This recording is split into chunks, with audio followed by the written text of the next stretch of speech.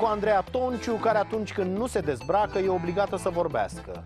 Și ăsta e cam singurul capitol la care stă prost dacă excludem bârna. Dar trebuie să înfrunte și provocarea asta. Culmea e că Andreea s-a apucat acum să vorbească și în engleză. Încerci în engleză? I- yes. Yes, yes, hai că yes și eu, yes și eu, yes și eu, yes. Uh, This is the avion. This is, is not căruță. Carlinga. Ce, Ce-ai pilot, făcut? mă, ce kilot? Da, pilotul. Cine e în carlingă, pilotul? Da. Cockpit. Cockpit se zice, If you cockpit. are my friend, tatăl nostru. Să nu credeți că n-a încercat mult timp să vorbească în română, dar rezultatele n-au fost foarte bune și fata cred că a fost un pic dezamăgită așa. La cât s-a dezbrăcat ea pentru noi, eu nu cred că merita așa ceva. Ce știi despre Eminescu? Că a fost un poet foarte mare. Așa. Și ceva opere de Eminescu? Opere uh, de Eminescu, o scrisoare pierdută. Uh, nu este de Eminescu. Nu. Mai gândește-te puțin. E de Caragiale, este... nu? Exact.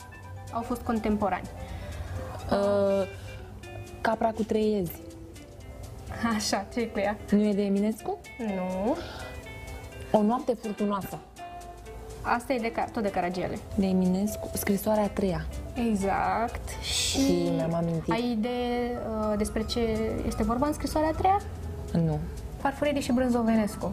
Ai auzit de ei? Brâncoveanu a scris. Săracul Brâncoveanu. Doamne, iartă-mă, câți, da. câți scriitori Da. are în România? Scriitorul ăsta, Brâncoveanu, sau ce, cine e Brâncoveanu ăsta? O stație de metrou. O stație de metro. Și ce a mai făcut? Ce a, Constantin Brâncoveanu. Mi-am ce a făcut? amintit. Ce a făcut Constantin Brâncoveanu? A scris Ce a scris Constantin Brâncoveanu? poezii. Poți să ne dai exemplu de poezie? Nu. nu știu. Scufița roșie? Era cu lupul. Dar cine a scris-o? Creangă. Creangă? Dar cine? Mai gândește-te. Păi n-am la ce să mă gândesc.